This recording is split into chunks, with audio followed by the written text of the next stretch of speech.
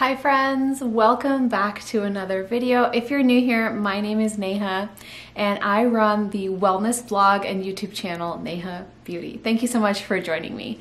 Today I'm gonna share with you my 2020 intentions and what I have planned up my sleeve. So let's jump into it. Okay, so I'm sitting down with my little planner here. This is the Happy Planner, by the way.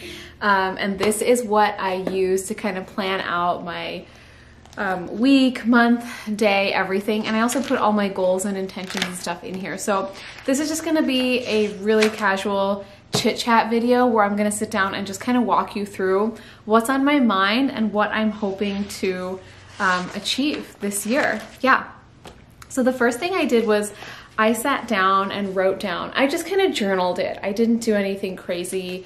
Um, but I did take time to go through my personal process, um, which includes reflecting on the last year, thinking about what I would do differently, dreaming really big, um, and then thinking about how to break that down into action steps, like habits that I want to form. Um, and if you want to know more, I did actually create a really great PDF download of my entire process this year. This is the first time I've ever put together anything like this to offer you guys. So I'll make sure to link that down below where you can download it. It's completely free, but it's a really great 18 page workbook that walks you through reflecting on your year, um, taking time for yourself to think about your dreams. And so um, when I sat down and did that, I tried to write down what my major intentions were for where I want to be in the next one year, in five years, and in 10 years. Um, and I have to say, it's really fun to sit down and do this. You you deserve to daydream, you deserve to indulge. So I really encourage you to sit down, take an afternoon or even an hour to yourself, um, get a cup of tea and curl up and dream a little bit. So here's what I wrote down for my intentions. I'm a little embarrassed to kind of share this, but it's okay. Um, what I wrote down was be in my best health ever by age 40. That's right. So I'm currently 38 years old. Um, so that's why, you know, I'm, I'm just picking a number in the future.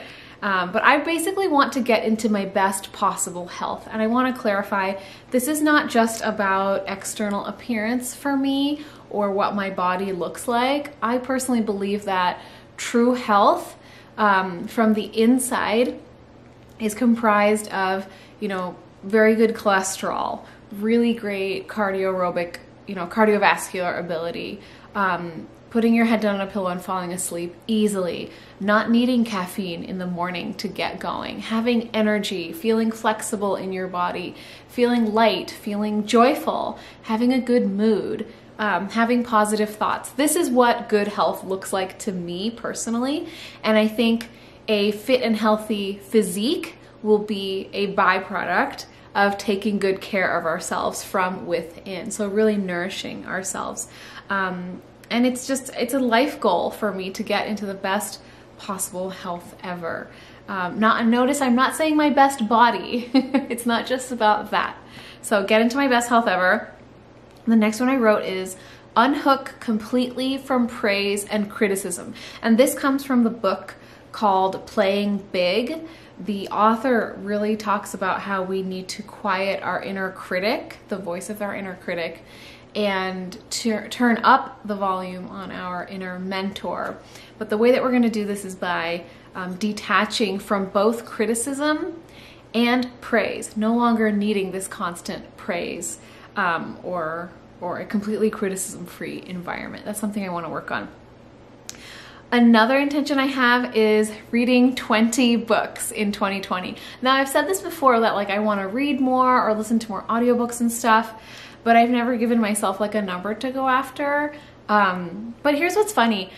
Every time I set the intention of reading more, um, I always end up reading a couple more books than I probably would have on my own. So I'm not too worried about actually hitting the number 20, but I liked the idea of having that cohesive little little thing. Next up, surround myself with positive people, and that includes our beautiful community that we are creating right here on YouTube, on my blog, and on Instagram.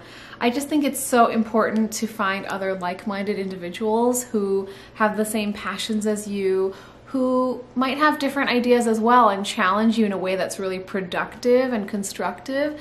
But I'm ready to kind of let go of um, any negativity, letting go of anything that no longer serves me, and building a new community and nurturing relationships that I already have that are super, super positive and enriching.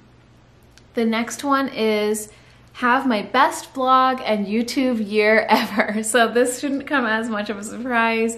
I definitely want to keep spreading um, basically positivity throughout the internet and my personal take on what that looks like and what that feels like. So um, I'm excited this year to keep working on my blog and keep working on my YouTube. In years past, and if you look at my old videos, you might even pick up on this, but in years past when I used to say this, I had kind of more fear even when I was declaring it because I didn't really know how I was going to succeed or how I was going to go do things or how I was going to grow. I had no plan for it and I deep down I felt like I didn't know actually what I was doing. But this year I am letting go of that fear and this year I do feel excited and eager to work on these things because my plan now is very simple. It's kind of just two things. One, keep going. Record videos, write blog posts, and put them out into the world. And also, you know, making sure that it's things that feel true uh, to me. Uh, if these are videos I would watch and I would find helpful and blog posts I would read and I think are interesting, put that out into the world. And two, so one is just keep going, keep creating. And step number two is stop comparing. This has always been one of my biggest downfalls, you guys. Um, that temptation to look at other bloggers, other YouTubers, or just other people on Instagram who seem to be growing way, way faster or seem to have a more clear message or seem to have really great branding, blah, blah, blah. These are all just excuses and essentially behind all of those statements is essentially just a layer of fear. It's just fear, and that fear is what holds you back in life. So, um, yes, I want to have my best blog and YouTube year ever. I believe I will get there by staying the course and actually enjoying it too. And my last intention for 2020 is to take back my time and independence. So, this is really um, this is really about creating space to focus on myself. When you have a family or children in your life and you're working and you're trying to get healthy and you've got a blog and a spouse and this, this, this, and that, um, it can be really easy to forget to put yourself first. Um, oftentimes, as women, we love taking care of everyone around us and we forget about ourselves and you fall to the bottom of the list, or sometimes you're not even on the list for a week or a month or for a while. And so I want to remind myself to take back my time. It's okay to ask for time, it's okay to take out time for myself and remind myself that I am independent and while I love my family, I can simultaneously love myself and nurture myself and give back the gift of time and creativity and joy to myself. And by taking care of ourselves first, we truly do have so much more to give to other people. I came across like a quote or something in a video I was watching just yesterday um, about waterfalls. And if, if you've ever looked at a waterfall or like a photo of a waterfall, what is it actually doing? Well, it's, you know, it's a river um, and it's tumbling off the edge, right? But if you think about it, it, let's suppose all that water dried up and it was completely flat. The first few, you know, gallons or liters of water that are in there, it, it won't it won't fall over the edge just yet, right? Of that river. It might start as just like little pools, little pools of water here and there. It doesn't become a beautiful, inspiring, powerful waterfall until what? Until the water rises to a level of fullness, and then it's the overflow. It's the overflow that is rushing down and giving us this beautiful sight of a waterfall. So I'm not explaining this very well, I think, but the point is giving comes from the overflow. So you have to fill your cup up to fullness. And then the overflow is what you have to give. That's your extra that you have to give to your family and loved ones and people in your life. That's what you have to give to everyone else in your life. It's about the overflow. So, anyway, coming back to this, taking back my time and independence is all about filling up my cup to fullness. And then from there, from the overflow, giving to everyone else around me. So, those are my intentions for 2020.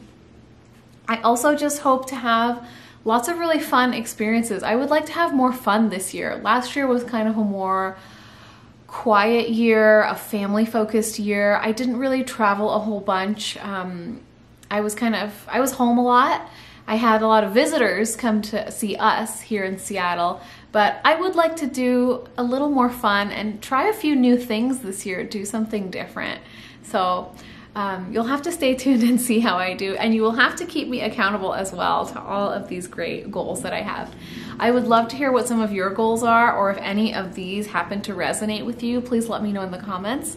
And if you liked this video, please be sure to like, comment, and subscribe. I would love to stay connected with you. And you can find me over on Instagram at Neha Beauty, and I'd love to chat more. So thank you so much for watching, and I'll see you in the next one. Bye!